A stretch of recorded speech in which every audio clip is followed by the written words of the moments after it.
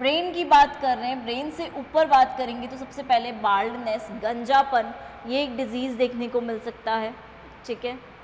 और इसे हम ट्रीट कर सकते हैं स्टेम सेल की हेल्प से।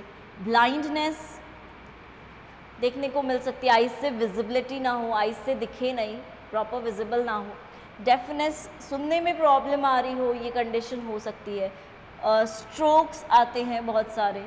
ट्रोमेटिक ब्रेन इंजरी होती है लर्निंग डिफेक्ट्स लर्न नहीं रहती, काफ़ी सारी चीज़ें। तो वो डिफेक्ट्स स्टेम सेल्स की वजह से हो सकते हैं।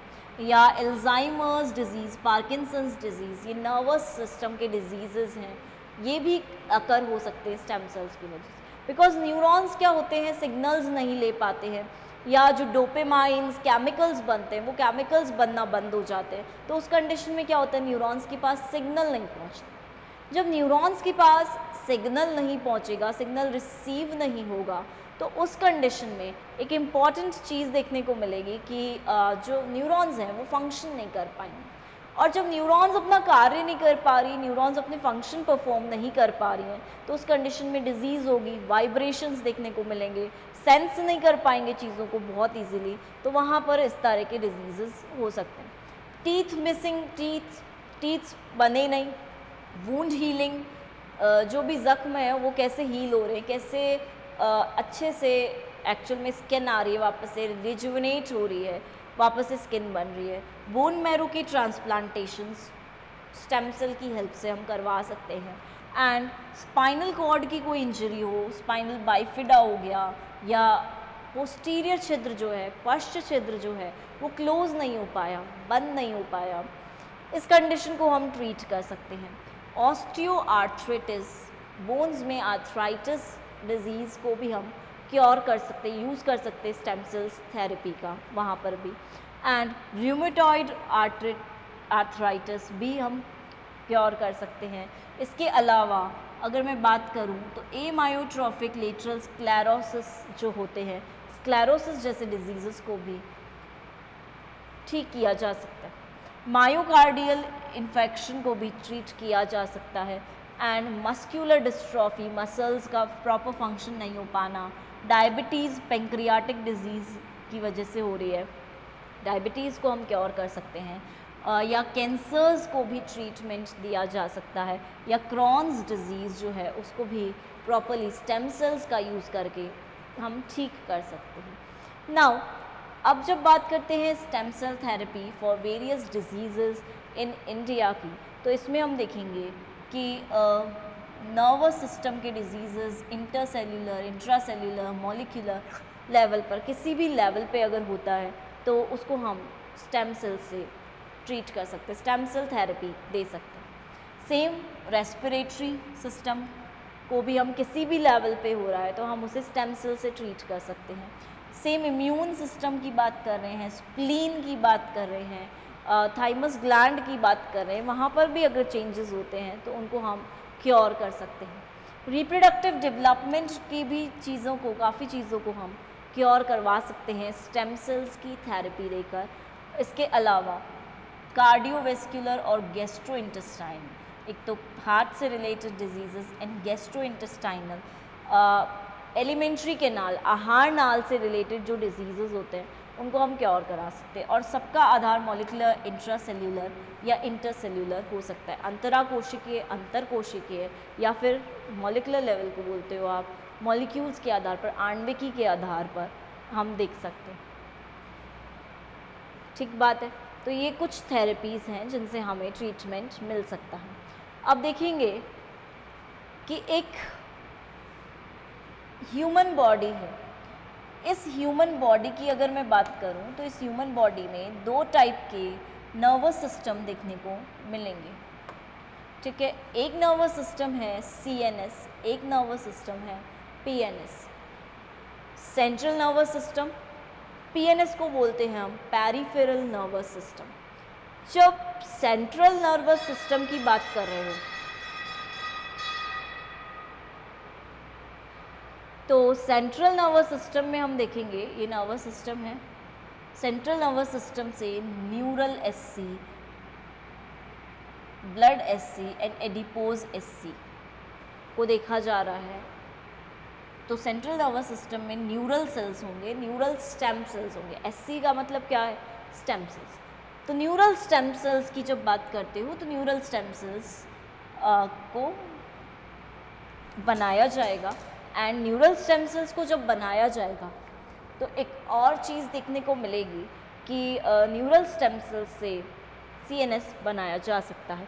सी का फॉर्मेशन हो सकता है। अब देखोगे यहाँ पे P N S peripheral nervous system है blood stem cells adipose tissue के स्टेम सेल्स ये सब बनवाए जा सकते हैं और सब जाके मल्टीपोटेंट स्टेम सेल्स को आगे जाकर बना रहे हैं। बॉडी सेल्स की हम रीप्रोग्रामिंग भी करवा सकते हैं और आईपीएस में कन्वर्ट कर सकते हैं प्लूरीपोटेंट स्टेम सेल्स में कन्वर्ट कर सकते हैं। अम्बलिकल कॉर्ड से भी हम स्टेम सेल्स लेकर एम्ब्रियोनिक स्टेम सेल्स बनवा सकते हैं। फर्टिलाइज्ड ओवम जो है, उससे हम ब्लास्टोसिस्ट बना सकते हैं और ब्लास्टोसिस्ट से भी हम एम्ब्रियोनिक स्टेम सेल्स निकाल सकते हैं। नाउ मल्टीपोटेंट स्टेम सेल्स से क्या क्या हो सकता है, वो हम देख रहे हैं। डिफरेंट टाइप की चीज़ों को देखा जा रहा है मसल्स बोल सकते हो, यहाँ पर बहुत सारे डिज़ीज़ को ट्रीट करने में हेल्प मिल रही है। कैसे डिज़ीज़ को ट्रीट करने में? एल्जाइमर्स डिज़ीज़ को प्लेक्स हो जाते प्लेक्स जैसे डिज़ीज़ पार्किंसंस डिज़ीज़ को डीमाइलिनेटेड एग्जॉन्स जो बनते हैं, उनको हम वापस से बना सकते हैं, या फिर आप बोल सकते हैं न्यूरोनल जो लॉस हो रहा है, उसको हम मेंटेन कर सकते हैं। हंटिंगटन्स डिज़ीज़ को क्योर करवा सकते हैं। मल्टीपल स्क्लेरोसिस जो हो रहा है, उसको भी क्योर करवा सकते हैं। नाउ यहाँ देखेंगे।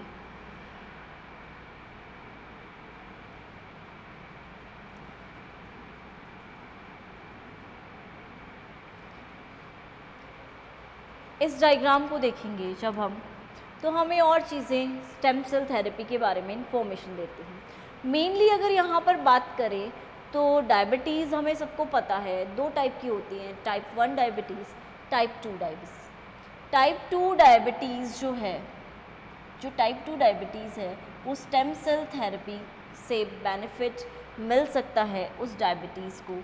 कैसे बेनिफिट मिलेगा, ये देखेंगे। एक्चुअल में 88 percent reduction of insulin requirement जो होता है वो रिडक्शन हो जाता है। इंसुलिन नहीं बन पाता। तो हम बाहर से इंसुलिन बनवा सकते हैं दे सकते हैं या फिर हम क्या कर सकते हैं पेंक्रियाज के जो सेल्स हैं उनको बूस्ट कर सकते हैं या पेंक्रियाज के आ, हम स्टेम सेल दे सकते हैं पेंक्रियाज को बनाने के लिए। ताकि पेंक्रियाज बन जाए एक बार तो बीटा सेल्स भी बनेंगे और बीटा सेल्स बनेंगे तो बीटा सेल्स इंसुलिन प्रोड्यूस भी करेंगे। बिकॉज़ बीटा सेल्स का काम है इंसुलिन प्रोड्यूस करना। एंड इफ़ इंसुलिन की मात्रा नहीं है अमाउंट नहीं है तो उस कंडीशन में क्या होगा? डायबिटीज़ हो जाएगी। ठीक है मेंटेन नहीं कर पा रहा ग्लूकोज लेवल तो हम इंसुलिन का वापस से अगर प्रोडक्शन कराएँगे तो डायबिटीज़ को क्या और करवा सकते स्ट्रोक की बात करें तो जितने स्ट्रोक्स हैं, वहाँ पर हम एक्चुअल में क्योर करवा सकते हैं। कैसे क्योर करवा सकते हैं? हम स्टेम सेल्स को दे सकते हैं या प्रमोट कर सकते हैं ब्रेन सेल का रीजनरेशन या स्टेम सेल थेरेपी के थ्रू ट्रीटमेंट करवा सकते हैं। रेटाइनल डिज़ीज़ रेटिना की जो डिज़ीज़ होती हैं, उससे भी स्टेम सेल को बेनिफिट मिलता है। बेनिफिट मिलता है स्टेम सेल की हेल्प से। रेटिना डिज़ीज़ को ट्रीट किया जा सकता है। ल्यूकेमिया से भी बेनिफिट मिलेगा, क्योंकि बोन मैरो का डिज़ीज़ होता है ल्यूकेमिया एक्चुअल में बोल सकते हो ब्लड कैंसर टाइप का ल्यूकेमिया होता है. और इस कंडीशन में भी हम बोन मैरो को अगर स्टेम सेल थेरेपी दे दें ट्रीटमेंट करवा दें तो उस कंडीशन में भी हम ट्रीटमेंट करवा सकते हैं. डिमेंशिया कंडीशन होती है. डिमेंशिया कंडीशन को भी हम बाहर से स्टेम सेल्स देकर ट्रीट कर सकते हैं. स्किन के लिए स्किन का फॉर्मेशन करवा सकते हैं। प्लस बात करेंगे कैंसर्स की तो कैंसर्स को भी हम स्टेम सेल्स देकर ट्रीट करवा सकते हैं, या जो डिवीज़न हो रहा है फास्ट डिवीज़न हो रहा है, उसको रोकने के लिए हमेशा बॉडी में कुछ ना कुछ केमिकल्स प्रोटीन्स एंजाइम्स ये वर्क करते हैं। बट इस कंडीशन में क्योंकि वहाँ या तो प्रोटीन्स नहीं होंगे, या जो रोकने वाले केमिकल्स हैं अनकंट्रोल्ड ग्रोथ को, वो रोक नहीं पाते हैं, वो स्टॉप नहीं कर पाते तो उस कंडीशन में हम ऐसे प्रोटीन्स दे सकते हैं बाहर से, या स्टेम सेल थेरेपी का कुछ ट्रीटमेंट दे सकते हैं, जिसकी वजह से ये जो प्रोसेसेस हैं, ये स्टॉप हो जाए और अनकंट्रोल्ड ग्रोथ जो हो रही है, उसको रिड्यूस किया जा सके। आर्थराइटिस की बात कर रहे हो जॉइंट पेन्स होते हैं आर्थराइटिस में, और आर्थराइटिस में भी हम स्टेम सेल की थेरेपीज़ देकर ट्रीटमेंट कर सकते हैं। तो ये कुछ डिज़ीज़ हैं जिनको हम ट्रीट कर सकते हैं। जब हम कार्डियोवेस्क्यूलर डिज़ीज़ की बात करते हैं हार्ट से रिलेटेड डिज़ीज़ की बात करते हैं तो हार्ट डिज़ीज़ में हमें एक और इंपॉर्टेंट चीज़ देखने को मिलती है कि हार्ट डिज़ीज़ में कई बार हार्ट अटैक्स आ जाते हैं या एथ्रोस्क्लेरोसिस जैसी कंडीशन होती है। एथ्रोस्क्लेरोसिस में क्या होता है? कोलेस्ट्रॉल आर्टरीज़ की जो वॉल है, वहाँ पर डिपॉजिट हो जाता है। या हम बोल सकते हैं स्ट्रोक्स आ जाते हैं हार्ट अटैक्स आ जाते हैं प्रॉपर ब्लड फ्लो वहाँ तक पहुँच नहीं पाता है अटैक्स बोलते हैं हम। तो ये सारी चीज़ें हार्ट अटैक से रिलेटेड या हार्ट से रिलेटेड चीज़ें हो सकती हैं। हो सकता है हार्ट की जो मसल्स है कार्डिक मसल्स है फ़ंक्शन करना बंद कर दें। तो उस कंडीशन में भी हम हार्ट मसल्स को कार्डिक मसल्स को स्टेम सेल के थ्रू ट्रांसप्लांट करवा सकते हैं या हम कुछ ना कुछ थेरेपी ट्रीटमेंट दे के उसे सही कर सकते हैं। उस कंडीशन में उसे ठीक कर पाएँगे। एड्स जैसी कंडीशंस हैं मतलब काफ़ी सारे डिज़ीज़ ऐसे हैं जो इन थेरेपीज़ के थ्रू ट्रीटमेंट ले सकते हैं। एंड अगर ये डिज़ीज़ इन थेरेपीज से ट्रीट हो गए तो सिंपल है कि डिज़ीज़ इंडस्ट्री में एक बूम आ जाएगा। और डिज़ीज़ इंडस्ट्री या मेडिकल इंडस्ट्री जो है, उसमें एक बूम आने की वजह से क्या होगा? काफ़ी सारी चीज़ें हैं जो हम सॉर्ट आउट कर पाएँगे। काफ़ी सारे डिज़ीज़ को हम वहीं पे स्टॉप कर पाएँगे और काफ़ी सारे पर्सनस की जो लाइफ है, उसको हम सेव कर पाएँगे एक्चुअल में तो स्टेम सेल्स के काफ़ी सारे यूजेस एप्लीकेशंस हैं। ये सारे एप्लीकेशन स्टेम सेल्स की हेल्प से डिज़ीज़ को क्योर करने में हो सकते हैं। तो हम उनसे चाहे स्टेम सेल थेरेपी बोलें।